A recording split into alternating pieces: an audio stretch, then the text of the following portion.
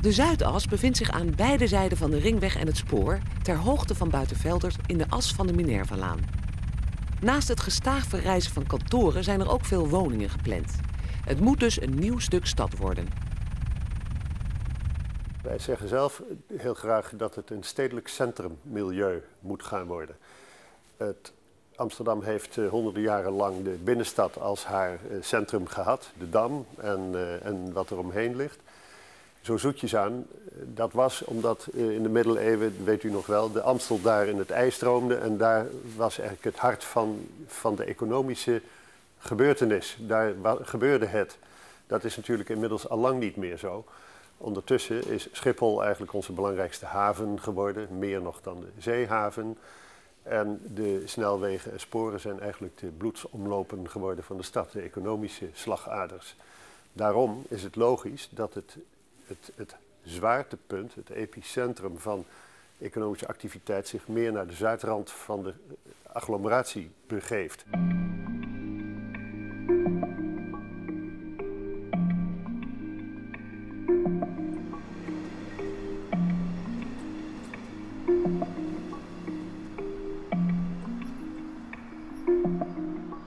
Het spoor en de A10 liggen op een dijk dwars door het gebied heen. De wens is om de spoorlijnen en de snelweg onder de grond in tunnels te leggen, zodat er meer ruimte is om kantoren en huizen te bouwen. Dit wordt wel het DOC-model genoemd. Zonder DOC-model is er 1 miljoen vierkante meter beschikbaar voor gebouwen. Met DOC-model is dat 2,5 miljoen vierkante meter.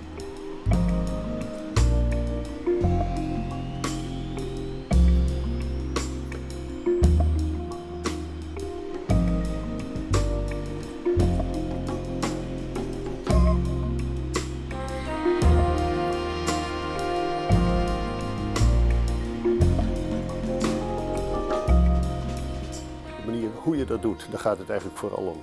In alle gevallen wordt er gebouwd en komt er een Zuidas. Maar onze inzet is om dat op een hoog ambitieniveau te doen. Dat betekent dat we ook veel willen wonen op deze plek.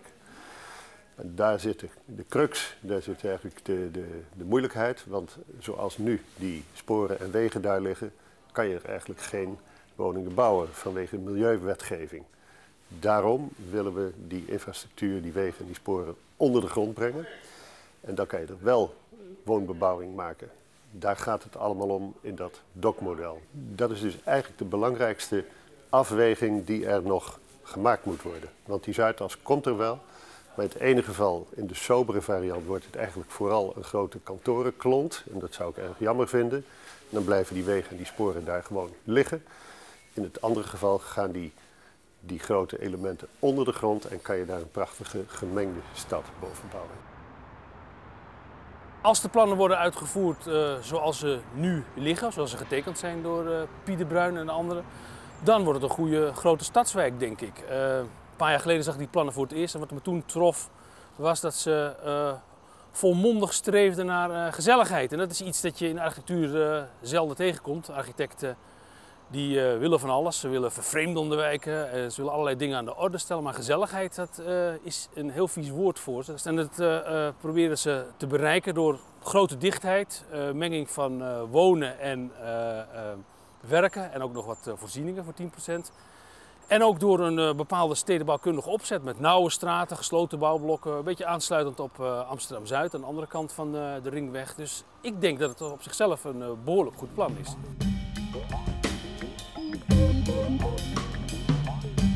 Op het plein bij het WTC is de openbare ruimte al af, inclusief een grote ondergrondse fietsenstalling. Aan de westzijde is het nieuwe gedeelte van het WTC gereed. Aan de andere kant van het spoor bereiken de gebouwen van Rafael Vignoli en Toyo Ito hun voltooiing. Het is een stratenstad. Het is dus niet zoals in Amsterdam Zuidoost, maar het lijkt veel meer op uh, Berlage Zuid. Dus straten eh, naast elkaar, haaks erop, hier en daar een plein, hier en daar een park. En het is vrij dicht bebouwd. Dus er is een, noem het maar, een hardhandige stedenbouw.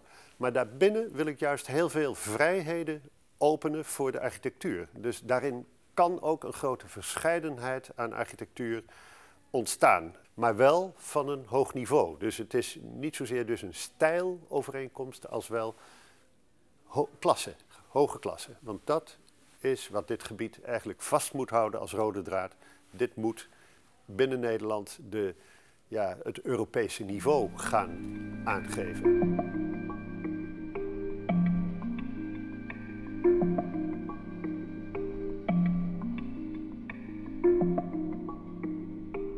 Nou, het gaat eigenlijk heel goed eh, op dit moment in de Zuidas. Eh, we staan hier eh, op het ABN. ABN is natuurlijk al in 98 hier gekomen. En achter mij zie je de eerste gebouwen van Maler. Het, het grootste project wat we nu eigenlijk in aanbouw hebben. Dat zijn negen gebouwen op één grote parkeergarage.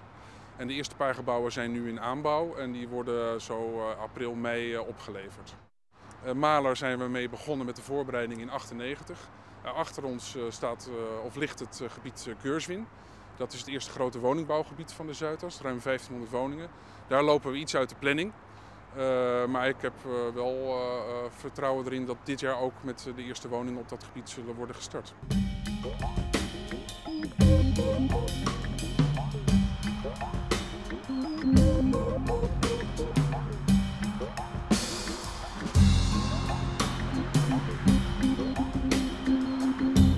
Dit is echt nog een kantorenlocatie op dit moment. Wij vinden het wel belangrijk om steeds ook eh, te uiten dat eh, we streven naar een echt stadscentrum. Een, een mix van wonen en werken. Uh, dat zie je nu nog niet. Hè. Dit is puur uh, alleen maar kantoren en zo'n snelweg naast de deur. Dus je kan je voorstellen dat dat op dit moment nog bezwaarlijk zou zijn. Maar als je de plannen goed bekijkt van bijvoorbeeld Geursen met die 1500 woningen, dat krijg je echt zo'n afgerond gebied.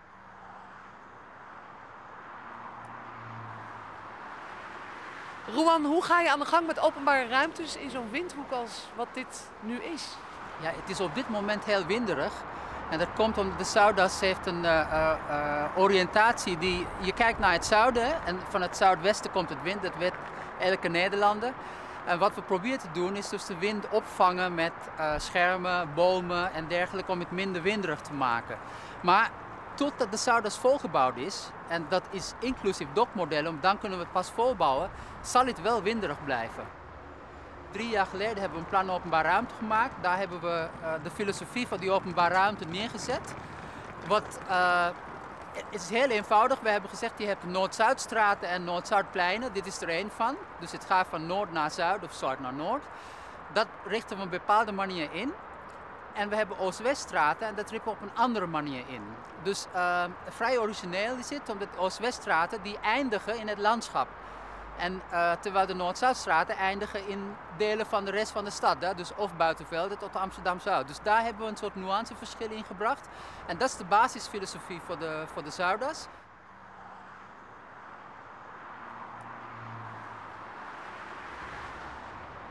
Wat heel moeilijk is, ik denk dat de moeilijkste opgave van de hele Zuidas is niet zozeer de dichtheid, maar hoe krijgen we onze plint, dus de begane grond, vol met leuke dingen.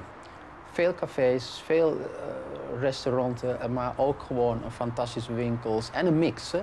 Kijk, een, een gewone stuk gezonde stad heeft een hele scala van functies. Dus niet alleen hele dure, ook niet alleen goedkopere winkels en een snackbaartje, maar gewoon alles bij elkaar. En dat is denk ik de grootste opgave van de hele Zuidas. Dat je gewoon het begane grond gewoon echt gezond krijgt met een hele mix van functies.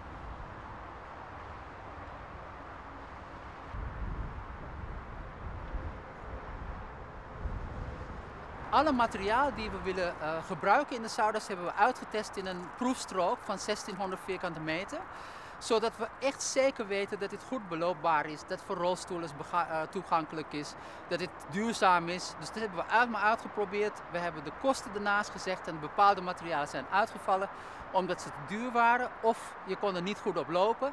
En de materialen die overgebleven zijn, dat wordt voor de 20 jaar de, de materialen van de Zuidas.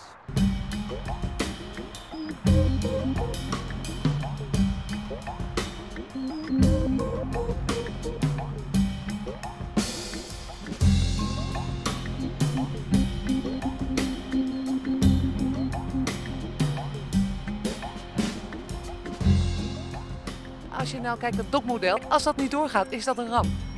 Ik denk dat het een ramp is. Ik denk dat dan veel van de ambities, van de grootstedelijke ambities die dit plan heeft, uh, niet doorgaan. Om te beginnen uh, betekent het uh, dat de wijk toch een soort wijk wordt on the other side of the tracks. hè, van de stad afgezonderd toch. Je moet toch ergens overheen.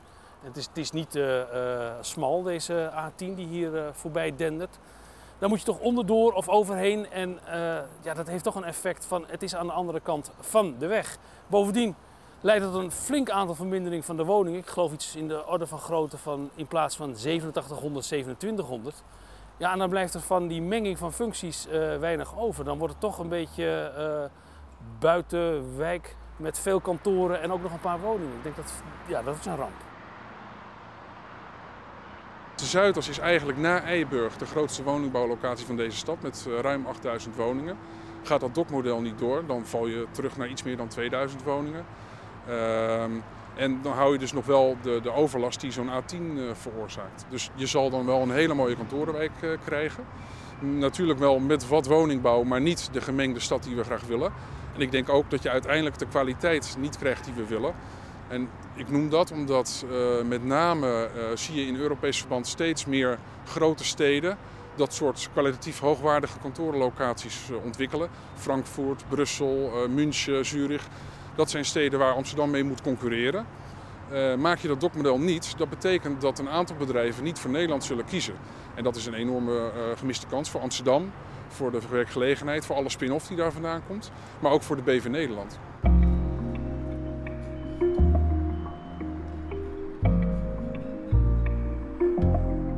Voor de financiering van het DOC-model, ongeveer 2 miljard euro, is een aantal partijen nodig private partijen, Rijksoverheid en de gemeente. De discussie over wie betaalt en hoeveel is nog in volle gang.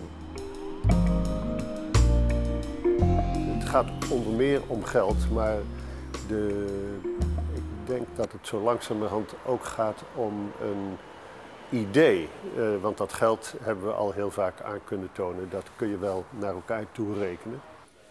Maar het gaat ook om, dit zou een nieuw type stedenbouwkunde voor Nederland gaan opleveren. Waarbij bijvoorbeeld tunnels en uh, sporen, wegen min of meer in privé handen terecht gaan komen. Dus een, een soort uh, gebiedsontwikkeling waarvoor je dus een, een nieuw soort opdrachtgeverschap ontwikkelt. Omdat het zo vreselijk groot is, zou dat in dit geval moeten.